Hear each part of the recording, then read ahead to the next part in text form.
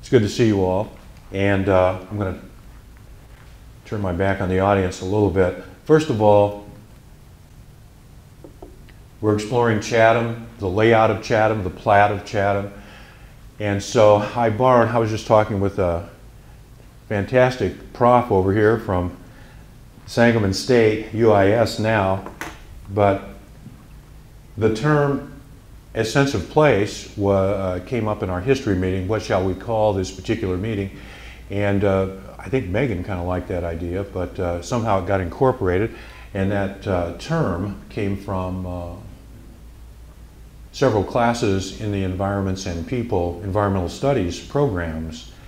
Uh, it was environment, yes, environment and peoples, environments and peoples first. But anyway, sense of place. Do we have a sense of place? What is our cultural identity locally, so forth and so on? So what I did was I developed a series of slides based on some things that preceded the town square, the village square, the village green. We all know where that is. And then I brought it up to date a little bit, compared it with other villages in Sangamon County. And then toward the end, we will have some ideas, especially from panel and audience. Remember, this is interactive. That was the whole idea. And Jared kind of bought into that, where we kind of have open classroom, open discussion, uh, anybody that wants to say something.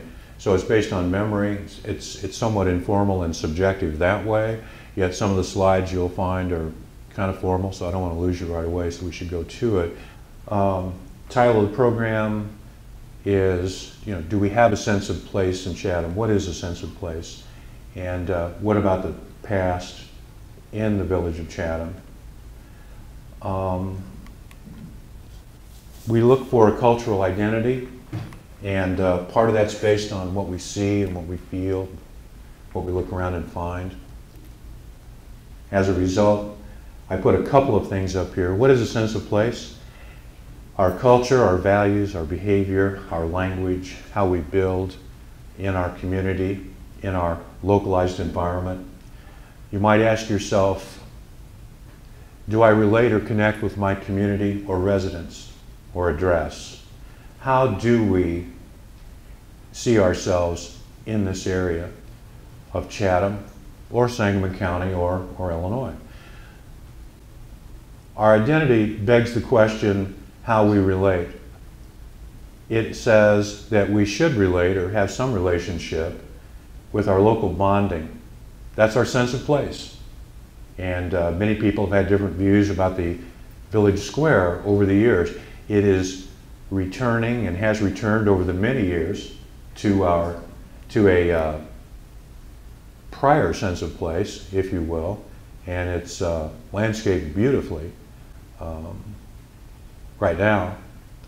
All communities, villages, and landscapes have some sense of place, going down to the fourth bullet. We all have something, it's just a matter of how deep is the connection? It's a sense of place for inhabitants and even those who have moved to a new lo locale. We, where we go, we take our cultural baggage with us, so we might take village square ideas or Chatham ideas somewhere else, or we might bring New England ideas or foreign ideas or non-Illinois ideas to central Illinois. Before we get to squares and rectangles and 90 degree angles that abound in the Midwest, what I did was I went back in time a little bit to ribbon farms. And ribbon farms are, are, are long lots. The ribbon farms, sometimes they're 30, 40, 50 feet wide or, or much wider, and they might go for a quarter of a mile, half mile, three quarters of a mile, usually lined up on a waterway. And so I thought, well, how could we precede all of this township and square and um, 90 degree angle uh, approach. Well, we need to go to some places or a place in Illinois, Kaskaskia. So I got some uh, really good information on that, and uh, that's worth an afternoon or an entire morning in and of itself.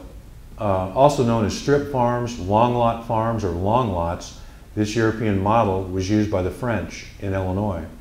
Uh, there were no squares per se, but there were gathering places. There were major streets or thoroughfares. There, there may have been a, a place or a plaza some kind of a square that wasn't really a square. It was like three or more streets intersecting, so you have this general area where there might be a market. But prior to that common bond, that sense of place, we had a different uh, sense of place. I hope you can see this. Uh, this is Kaskaskia, and it is, or should be, a copy of an 1806 map. The map is from 1848, but they copied an 1806 map, and I found this in the Illinois State Archives. And, aha. Uh-huh. I'll, I'll go, you're over here, let me, let me come to you. Um, probably better with the lights off. But as you can see, here's the water. Mississippi River, Kaskaskia is back here, Kaskaskia River. Um, here are the common fields of Kaskaskia. Here are the ribbons, one right after the other, right after the other. You can see how they are the long lots, the French idea of surveying, and people would live along the river, or in the case of Kaskaskia, actually they, they lived in a village over here. People like Shadrach Bond, first governor, uh, Sidney Breese, their homes and their, their lots were over here. So the ribbon farm preceded that. As you can see, there was a different way of looking at a village or setting up a village. The people lived along the river so they could get their goods out to the river. That was the whole point. And uh, the long lots allowed for a nice, long cultivation and then maybe turning the oxen after an eighth of a mile or a quarter of a mile or longer. You don't have to turn your, your uh, animals uh, very often at all. So there was a convenience of sorts. And, and of course, this certainly precedes and uh, is much different than the maps uh, that you'll see uh, here in a minute. But there was no village square. That doesn't mean they didn't have an identity. They just had a different sense of identity based on the old French system, seigneur, seigneurial system. And in fact, I just I was just in Montreal, believe it or not, uh, yesterday, and uh, was looking at the ribbon farms. I was amazed at how they were set up even today in 2015. So that, that culture lives on, but not here. We had to get organized here and have a different sense of place. So uh, it's very uh, fascinating how they are able to thrive like that. Another slide on ribbon farms, 1600s, 1700s. Um, they had to resurvey all of this. And here's a more of an aerial shot of the 1848 map that's a copy of 1806. So you do see some ideas about a sense of place, but it looks a little disorganized. To tell you the truth, this is the only model that we have. Here's a better look at the common fields of Kaskaskia, where everybody had a chance to graze their stock, have their vegetable garden, or what have you, and still contribute to the local economy. Um, so I think you got the idea long and narrow, long lots. Here's an even better shot. The Kaskaskia Commons in the lower part. There's Chester, Illinois, if you can see that in the lower right-hand corner, and on and on. But you can see they're, they're beginning to square things off. You can see that some of the areas that were long lots are now being surveyed in a different manner based on the Land Act of 1785. So we're approaching the late 1700s. One of the reasons why we have the system we have today with the village square um, is uh, tradition, it goes back to medieval or Middle Ages or perhaps prior to that, but not in a widespread sense. The enclosure movement helped change all of this that was happening throughout Europe, especially in England. The enclosure movement consolidated smaller farms into larger farms. Yields increased, common fields were eliminated. Remember those common fields in the prior map?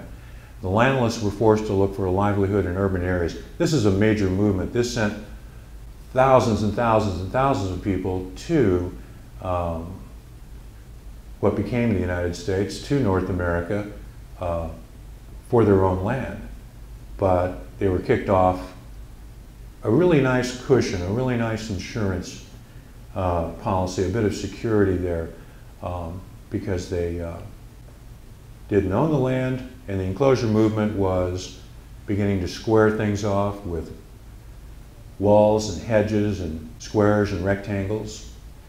Uh, a couple of these maps are going to be a little bit faded, but the gist is um, with the Treaty of Paris of 1783, this area uh, was really examined very carefully. The Big Ten Conference, whoops, right here. And of course, the, the Northwest Territory was uh, ripe for plunder. Here's, here's Illinois. And uh, there were two major pieces of legislation that came out in the 1780s before we had our Constitution finalized. Uh, there were only thoughts about the Constitution at this time. And the two major pieces of legislation, one was the Land Act of 1785, Thomas Jefferson, the grid, the section of land, 640 acres, sections, half sections, quarter sections, uh, ideas about township uh, or generalities thereof, right? So, with this area being um, subdivided and surveyed, we see that the United States becomes a little more organized. Here's another map which shows, uh, I think Illinois is part of the Indiana Territory. And even more, Vincennes and Chillicothe. Uh, even more, uh, again, maps help explain a sense of place. Here we are, uh, Illinois is part of the Indiana Territory, definitely. Ohio became a state in 1803, and then Indiana and Illinois were one, as, as you can see. Illinois didn't become a territory until 1809. So the Kaskaskia map of 1806 that we saw earlier with all the ribbon farms, I mean, that predates, that predates everything. That's a really, really nice uh, set of maps that are available through the state archives. Um, here's a better view. As we get a little more organized, notice that it's becoming, uh, if I could use the term, a little more linear. Uh, uh we are not quite uh, um, using the uh, prime meridians and the baselines and the angles yet, but you can, you can tell that it's beginning to take shape. Um, use of lines. Purple is Illinois territory as we proceed. Um, Indiana has developed its own territory. We, have broken away from Indiana, so uh, that's good. Indiana became a state in 1816, right before us in 1818. So you can see things are shaping up nicely, but again, the lines are a little bit more, uh, I use the word linear. And then comes the Land Act of 1785. This was a real passion for Thomas Jefferson under the Articles of Confederation in the 1780s, that was known as the critical period in our nation's history. Um, the American Revolution uh, ended in, uh, let's see, the last fighting was uh, in the early 1780s. With the Battle of Yorktown, we finally settled with the treaty in 1783. What to do between 1783 and 1787 when we have the Constitutional Convention? What's going on? Organization. Jefferson was very much uh, genius. The word is used so often, but he headed up a committee that was going to organize the Northwest Territory and anything else that hadn't been surveyed or claimed. And so he set everything up on a 90 degree angle. I'm keeping this very, very simple, but as I state, the Land Act of 1784, based on his committee work of 1784, Jefferson's grid became the established and recognized method by which the United States is subdivided, as, as we all should know. Land descriptions and measurements of the landscape were standardized and routinized. Uh, there was no escape after this. It wasn't where the creek is narrow down to where the old oak tree was and then back over here. Okay, in that triangle, that's my land. It wasn't anything like that. It was absolutely standardized. Here's the proof. As we all know, sample sections, rectangular land descriptions, we subdivided and subdivided to the nth degree. And I include that from a plat book of Sangamon County, which shows that no matter what direction you go, you are going to face some kind of a 90 degree angle. It's going to become angular, may not reflect your state of mind, but that's how we're organizing. Could it be that the landscape is organized that way? It was. Could it be that towns and villages become organized that way in a standardized or a systematic way? It did happen. Okay. Here's another example. I included the township because I have a personal belief. I think townships are extremely important. I think they're the building blocks of the counties. Over 80 townships, over 80 counties out of 102 in Illinois have the township form of government. I think that's very important, especially for the rural people.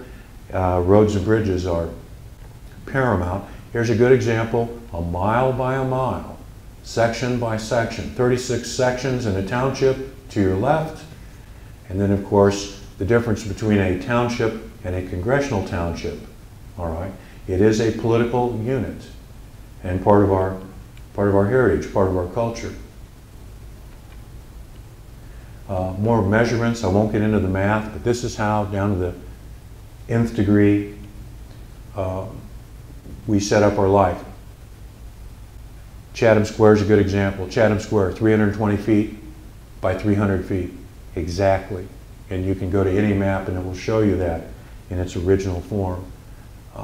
It wasn't just a common field where people could wander in and out.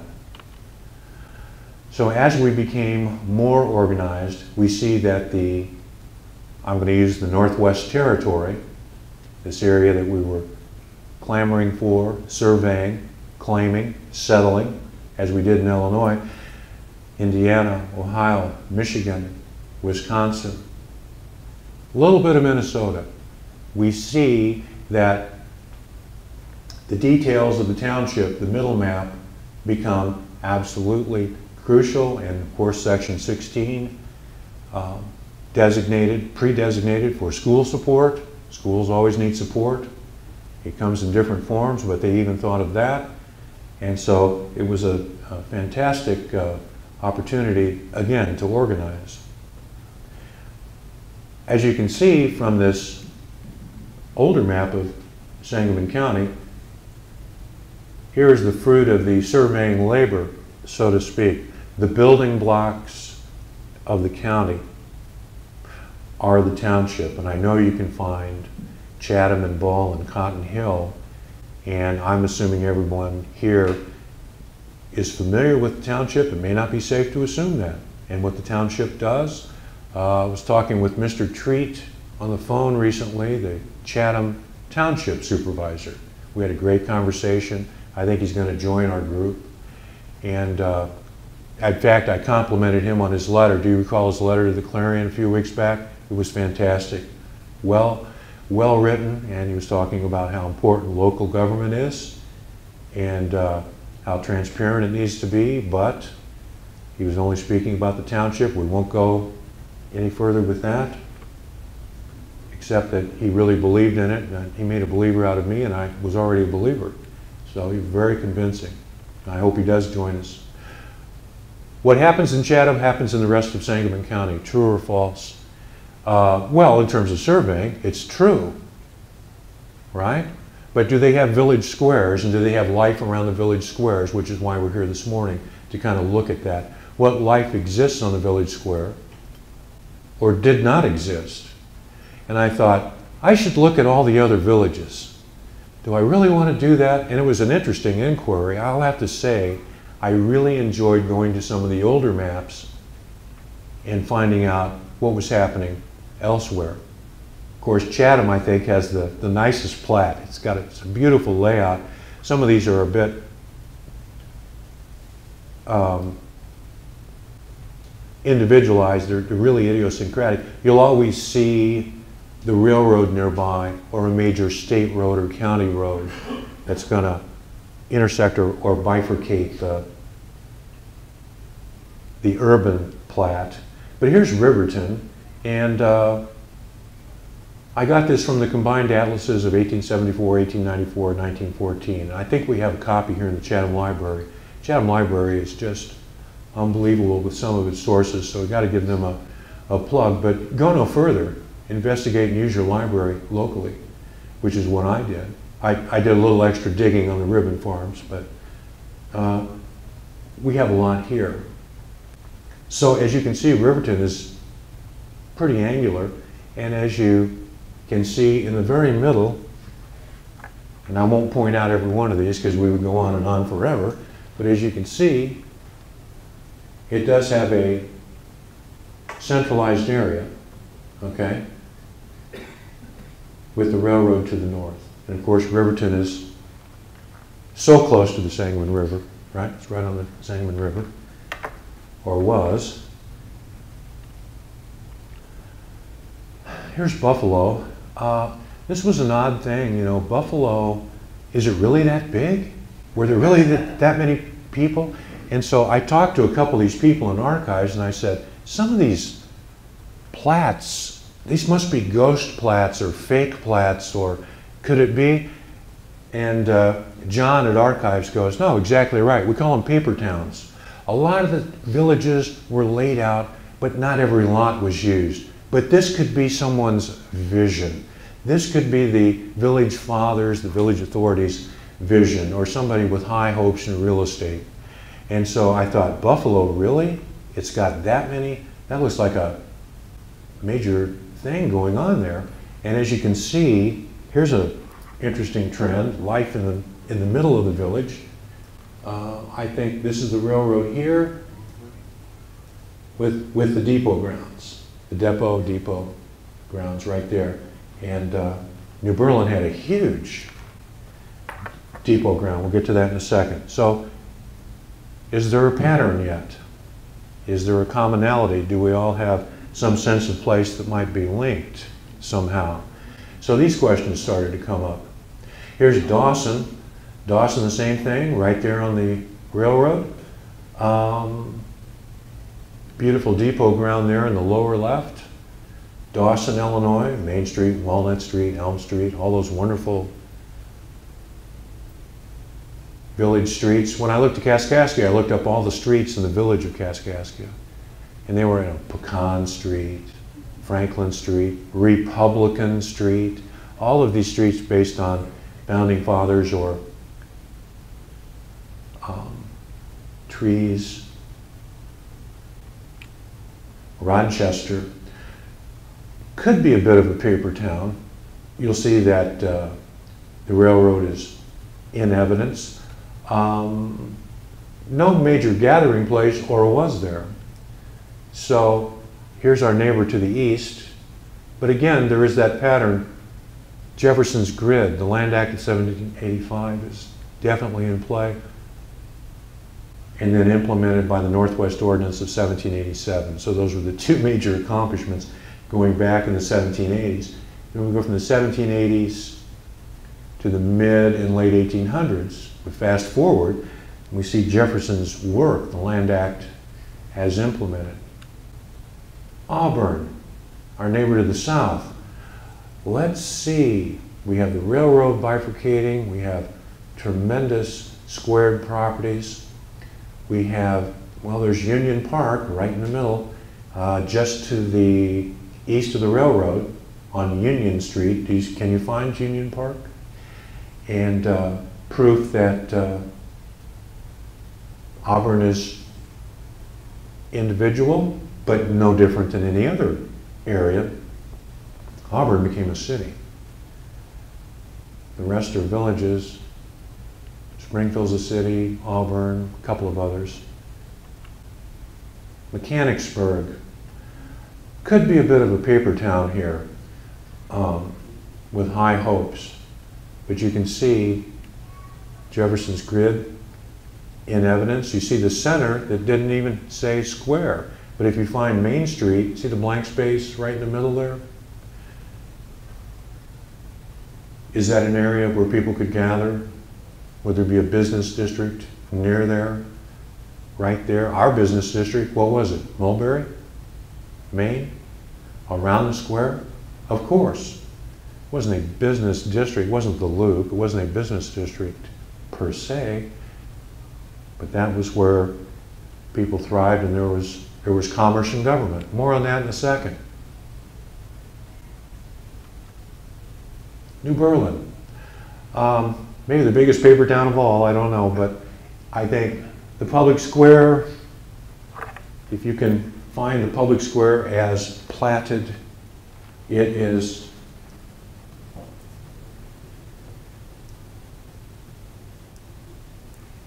up, there we are. It's right there. Huge depot ground to the north and to the south of the East-West Railroad here, public square here. And life thrived there. What kind of life? Well, that's why we're here. Maybe we can come up with a few things today from our esteemed panel and your contributions. Berlin. Can't leave out Berlin. There's Berlin and New Berlin. Same thing, but a bit of a odd angle. I, I really like that. It's very interesting. Uh, you see true north and south to the left. But there is a square in Berlin. Have you been to Berlin? You probably are aware of that. Yet, did you realize there were so many lots and so many homes in Berlin? And of course, there aren't. But it's very deceiving. History can be very slippery. It can be very, you know, you really need to not take everything at face value but they're wonderful maps. Illiopolis used to be known as Wilson. Same thing, bifurcated by the railroad. And uh, not really a center per se. You notice that a couple don't really have a center or a village. Williamsville, Same thing. Thank goodness for the railroad. There's Barclay. Pawnee.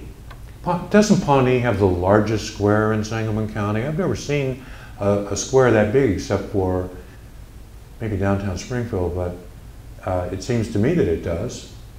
And uh, again, the pattern continues. So I kind of went on and on with this. I'm going to prove that we're no different than anybody else. Um, or are we? Ah, Chatham. There's the public square. There's where life is. Mulberry just to the north, bifurcated by the railroad. A typical, according to uh, uh, Illinois History of the Prairie State, Robert P. Howard, Chatham or a village like this would typify how towns were growing, how villages were growing in Illinois and throughout the Midwest, especially after the Land Act of 1785. No common fields, no ribbon farming, everything a nice polygon, a nice geometric unit. Another one of Berlin. And so back to Sangamon County. So you see, what I'm doing is I'm going from the general to the specific. Okay? So we looked at settlements in North America and in the Northwest Territory, the old Big Ten Conference. We looked at Illinois. Illinois kind of was part of the Northwest Territory, was part of Indiana Territory, became its own territory, became a state. Counties flourished based on population as Illinois was settled from south to north, etc. And then the townships became the building blocks of the counties, the counties, the building blocks of the prairie state. A list of those building blocks, you might see a couple here and there. that no longer exist or have taken a different name. But have you heard of Breckenridge? Sure, it's on the way to Taylorville, isn't it? Just on the other side of Rochester. Barclay, Bates. Bates was big. You know Bates, just to the west here? So on and on. Jamestown. There must be a Jamestown in every state.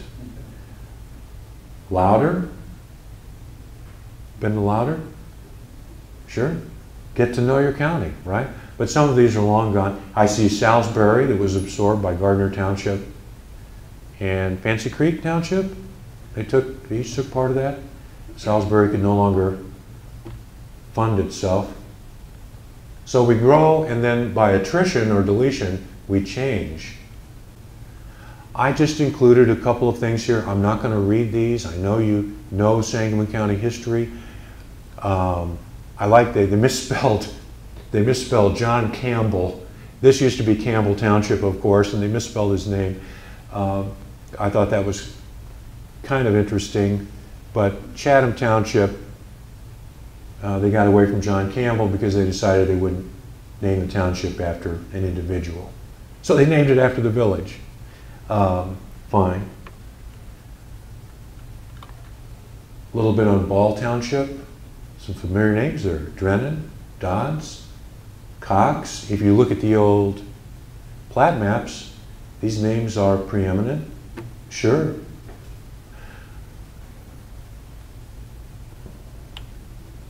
Cotton Hill. There actually was cotton growing in Cotton Hill. There were a lot of cotton experiments there and didn't, didn't work. Obviously with the, the great snow, uh, that really set everything, set everything right. Okay, so we are a very wide school district from part of Loami Township to Chatham to Ball to Cotton Hill, all the way to the Christian County line. And uh, I think we're the widest school district in Sangamon County. Sangamon County. And the town square, finally, finally. What is a town square? A town or village square. Panel, wake up now. Here we go. Seriously, a town or village square is centrally located in the heart of a community, as is ours. It has a location in proximity to, and I, I tried to get some basic categories, but it has a proximity to government or authority. And I think you guys can speak to that, and I know the room can as well. If we're in the town square, what direction would you face where local government might exist, where there would be that authority? Would it be far from the town square? It would not be far. What direction would that be? Well, it depends. But I have an idea on this, and I think you do too. It has a location in proximity to business. I think it's a given, but I'll stand corrected, that business in Chatham tended to be on the north side of the square or along Mulberry and north-south on Main, and there were pieces of commerce, little bits of business here and there. Maybe not so much to the south, but maybe there were. We'll find out. But not far from the square. We weren't that large. I say we. I feel like I'm one of you, so, okay. Religion? Were there very many churches in Chatham? Yes. Were there any on the square? And, oh, I hope we, yes, Thelma, I want, I want your feedback on that, definitely. I'm thinking the Methodist Church right away on the south side of the square. So we, let's call this out. Let, let's bring this forward. And transportation. Now I'm referring to the IT at that point. The railroad's not too far to the east, but the interurban went right up Main Street. It didn't turn until it got beyond the square. The depot was on the corner of, oh, I got, I have that in my notes. Does anybody remember the depot? Where it was? Okay, let's talk about that. It is a meeting place, gathering place, marketplace, and represents common ground. So the Chatham Homecoming is a great example, a modern example, a post-World War II example of common ground. A meeting place. It is a community event, so to speak. the Chatham uh, Sweet Corn Festival, which was, it got too big for the square, but it was on the square for years as well. I don't know about business moving to the town square, but recently we saw Friendly Chevrolet. I've never seen so many cars on the town square, nor have you probably, right? That was quite a sight. Uh, I had to take a couple of photos of that. It's a, kind of surreal, but it is a meeting place. It is a foundation. There's our baseline right there. Here's Chatham in 1836. Thank you, Chatham Library. As you can see, uh, I just threw this in because I'm kind of finishing the maps with the best one of all. And uh, isn't this the one that Opal Lee rescued or had uh, blown up? And, and she's kind of responsible for bringing this 1836 map to our attention as a community, if I'm not mistaken. And uh, there's Mulberry and Chestnut to the north and south of the town square, long before the railroad. The railroad came in the 1850s. This is 1836, long before that. And uh, thank you for nodding your head in agreement, a couple of you. I want to, I want to get my dates straight. We're straight on that. Public space.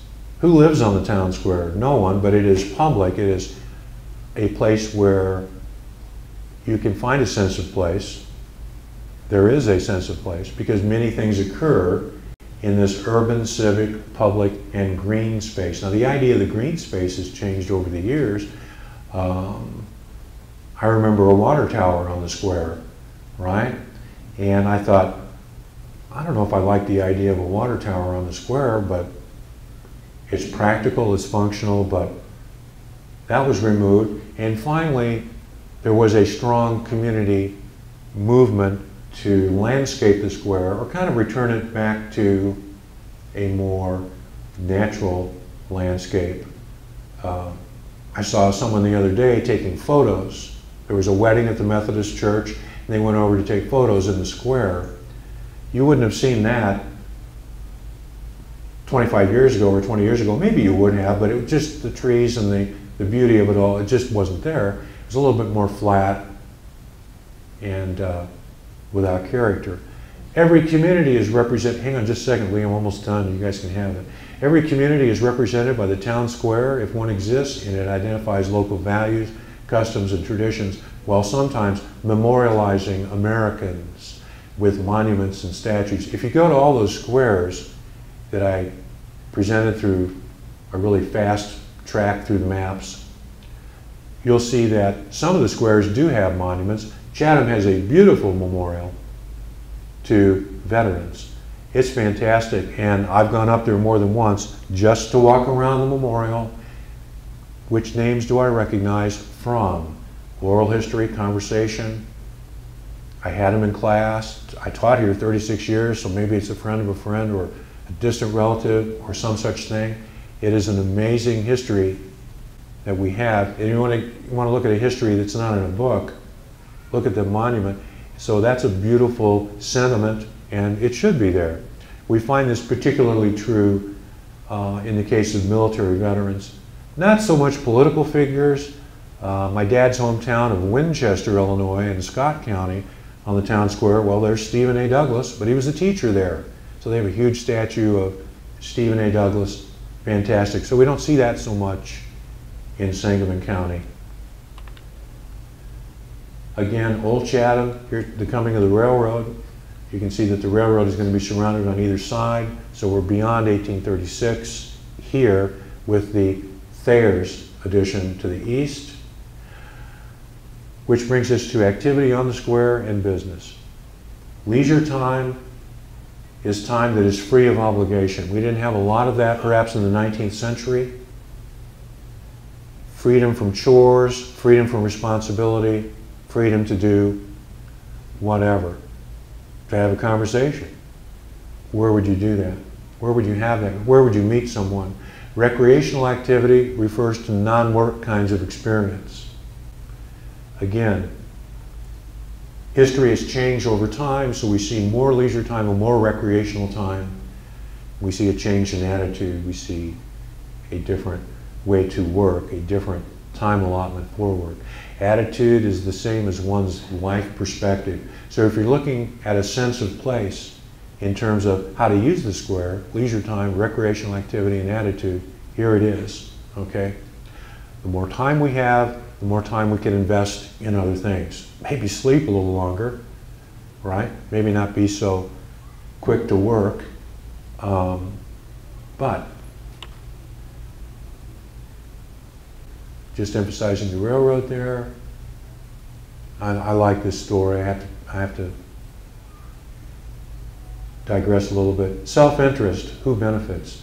The village of Chatham passed an ordinance for the Illinois terminal, the interurban. You guys know this story?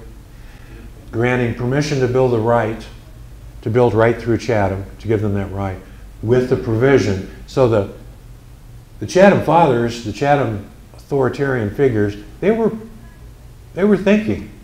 And they said, yes, you can come right down Main Street as long as that substation furnishes lights on the square.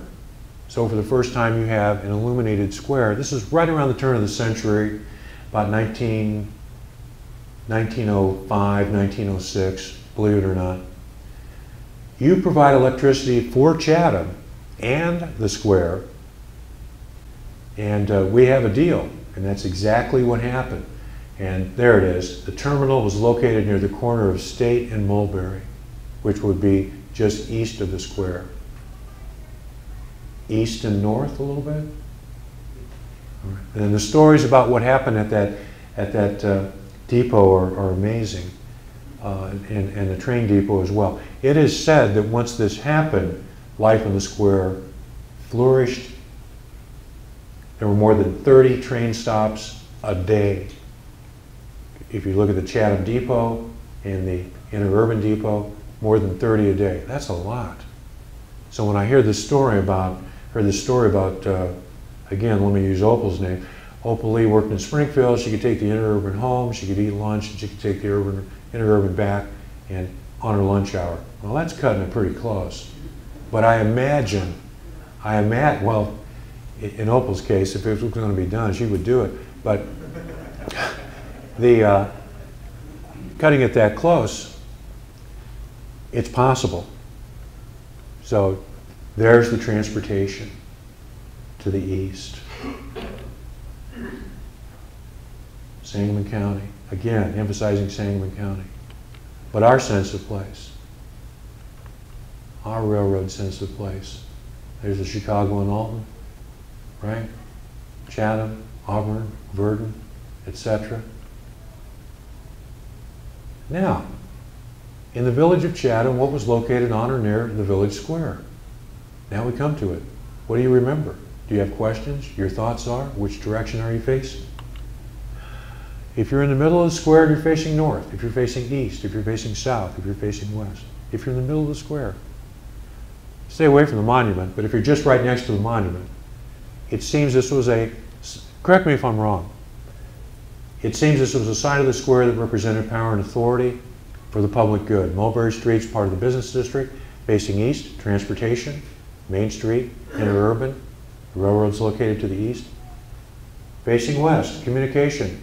Uh, Mr. Clark, we talked about uh, the telephone location, the local community operator on the west side of the square.